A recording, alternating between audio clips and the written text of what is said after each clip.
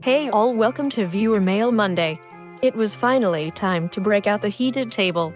But I live in the hottest room here, so it doesn't have much of a use. At least it looks cool. Enough about my week, though. Here's a question from Night Ender. Please do not end the night. I can't sleep when it's light out.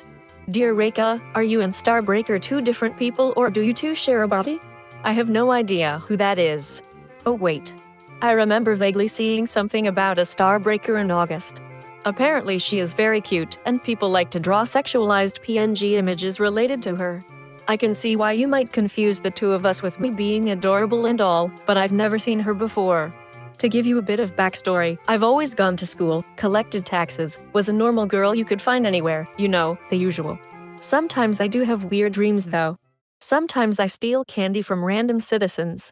Sometimes I fight an annoying girl in space but she cheats. Sometimes a small rabbit causes me to explode. Probably nothing to worry about though.